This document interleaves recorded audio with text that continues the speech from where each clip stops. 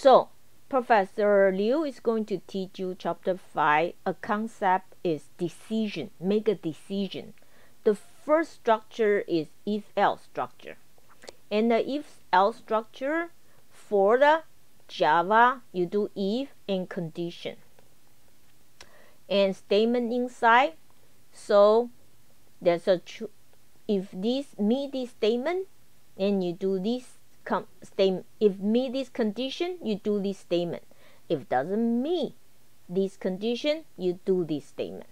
The thing is, um, uh, for Java, you can only put one statement, one, one statement. Okay, uh, in in between in the if or else statement. If you have two statements, you must put parentheses. All right. Now another very very important thing many students make mistake is you cannot have semicolon after if here. So here if you put the semicolon you are going to get error message you cannot do anything. Okay? Now let me ask a question right now see who can uh, answer this. Okay? So on the if and else statement when I meet the condition here, how many statement, how many statement I can put here? How many statement? What? More than one. If that's more than, David, very good. If that's more than one, I must put braces. Okay? If more than one, I must put braces. Alright? So remember that. And don't put semicolon after if. Okay? Now, next thing is this. This is a condition. This is called condition. Let's learn this. Inside the parentheses, this is called condition. Okay, this is a condition. So inside the condition here, we can only use comparing. We are we use a com, you know, compare is is compare. So relational. These are the uh, com relational operator to use to compare. Okay, so math is this way, Java is this way. The rest of them probably the same, not too much because we don't type this in the keyboard anyway. So it's less equal, greater equal. The thing different is equal. Equal for Java is equal equal. Not equal is exclamation equal. This one is different. Okay?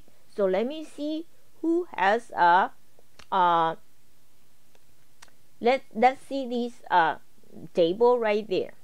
How many how many relational operators in java we can use to compare value? How many relational operate six. Very good very good. So most of them are from your mathematics. The one is different, equal. Equal in Java. Equal in Java. What's the operator you use? How do you do equal equal? Yes. Okay? Not equal in Java is what? How do you do not equal in Java? Exclamation equal. So this is different, okay? Now, beside this, we compare number. We also need to look for we compare string.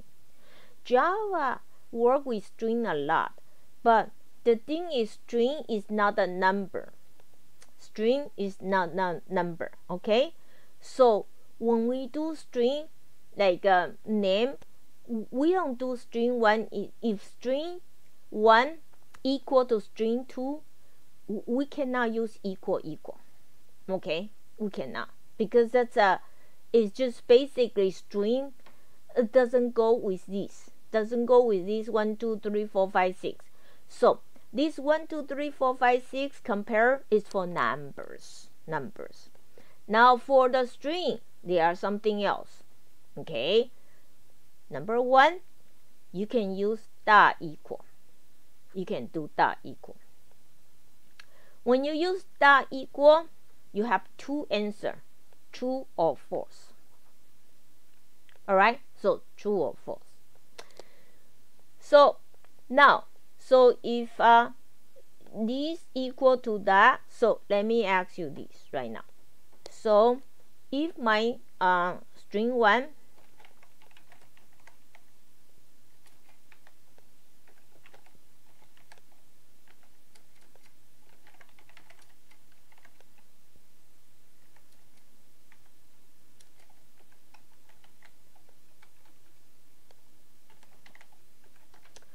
Alright, so if my string 1 is Xin, string 2 is Liu.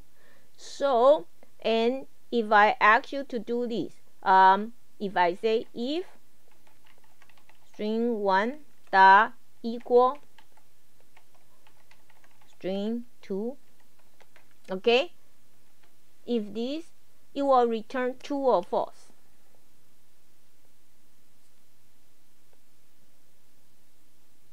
False. That's right. Correct. Okay.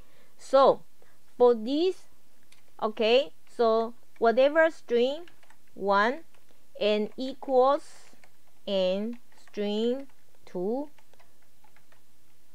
this will have only two so two kinds of answer either equal true or false sometimes uh, we want it to be ignore the case so string equal ignore okay? Equal uh, that e, uh, equal but ignore case. So this we can ignore the case. Alright so this is kind of useful but we can only answer true and false. But you know right now internet we are in the big data age. In your time i think 90% of your job will land on doing data, big data age. So sometimes we we know they are not equal, but we, we want to know who is the first. We want to sort them. Who is the first? Who is who is you know later? So and we want to see that. So then we are going to use different. It's called compare to. Compare to. When we use a compare to, then we use something called less, lexic- uh, lexicographic comparison. So lexicographic comparison, do you remember the ASCII code I asked you to download them? I put it right here too. Alright, so basically we are going to use ASCII code to, to, to compare. So for example, right here, cargo okay so here. Uh, can anyone tell me right now if I want to compare cargo? This is lowercase okay? Sorry this is lowercase. Cargo so C they are the same. A same. Go to R and T right now. Go to R and T. So you tell me based on the code what's R's number? Anybody find it for me? R's number. Right here okay R's number is what?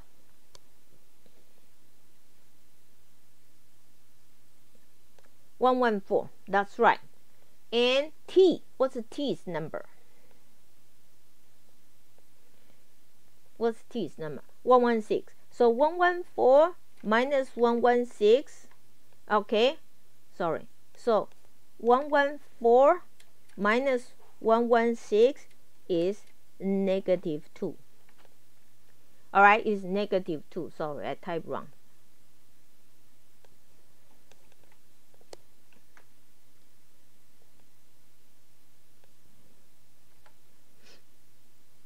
Is negative 2 alright so once it's negative 2 negative 2 so this way we're not going to compare. We can do the sorting at the same time.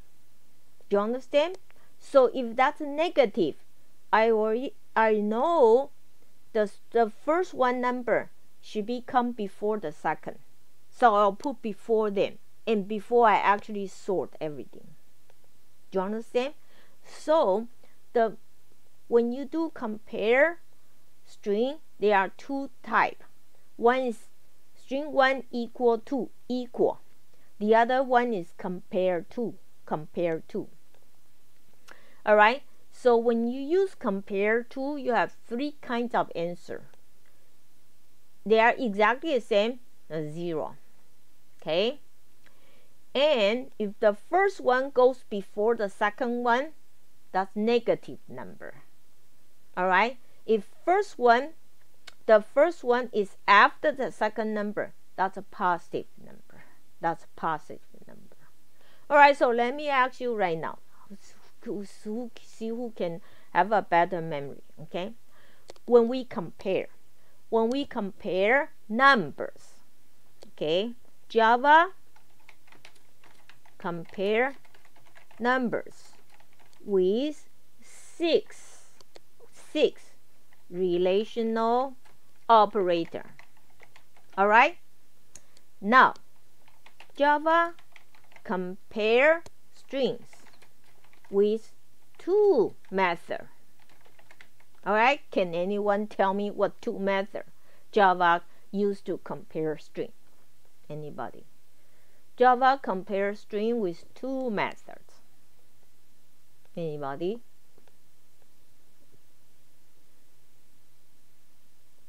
Equals. What's another one? Compares to. So compares to is more powerful because compares to allows you to not only know they are equal or not, also you can sort them. So because compare to tell you. So what happened? What happened if i compare string 1 compared to string 2 i got a negative number. What happened if i got a negative number? Can anyone tell me when string 1 compared to string 2 i got negative number so for example let me compare this right now okay i'm going to compare cat and dog. If I compare cat and dog, I should get what kind of number? Negative. If you use compare to, use compare to. What answer I will get?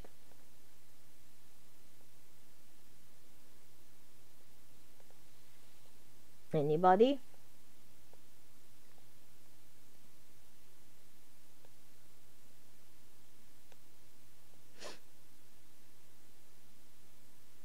Can anybody tell me?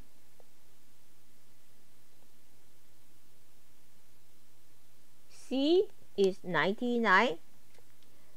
D is uh, 90, 100. 99 minus 100 is negative 1. Okay, you get negative 1. Great job. So you know cat alphabetic order is before dog. And once you got C, D, you are going to ignore the rest of them. The A and O and G doesn't matter anymore because when you alphabetic order, uh, when your first name sorting first name last name is first character only. Is that right? So we are doing this to help you to do the sorting. You understand? All right.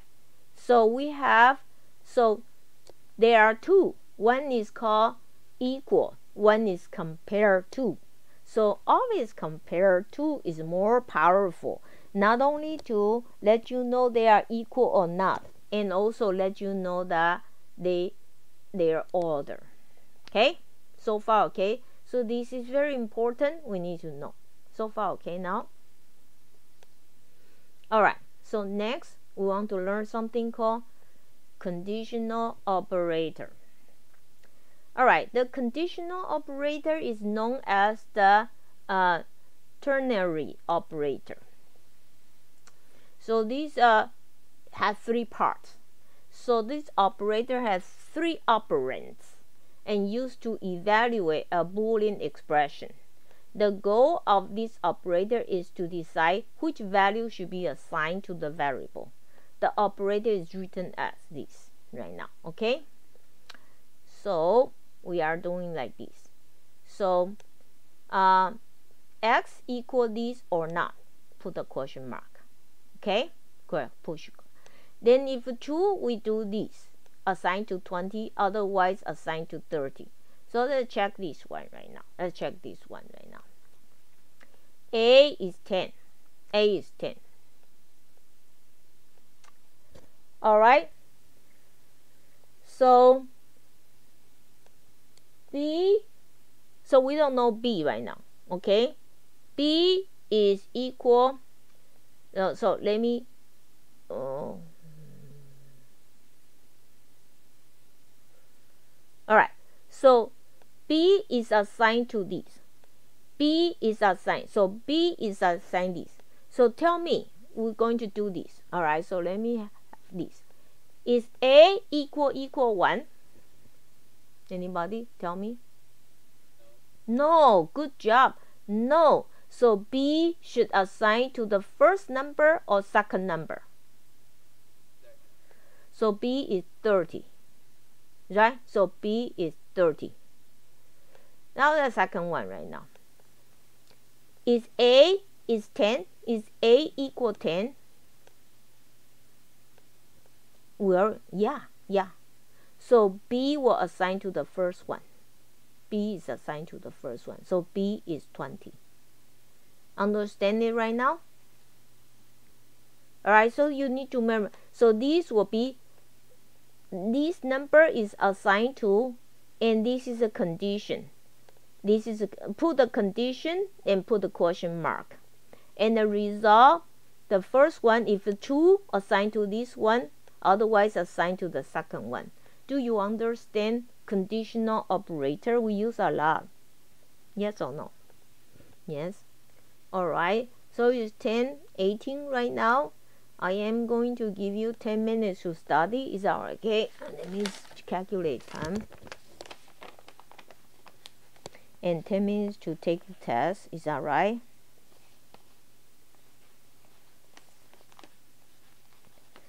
So let's have a, uh, our first te test at the 1040.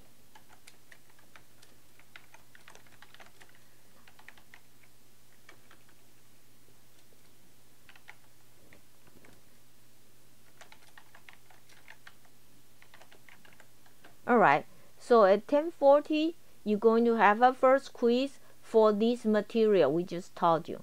It's okay? 1040? It's okay?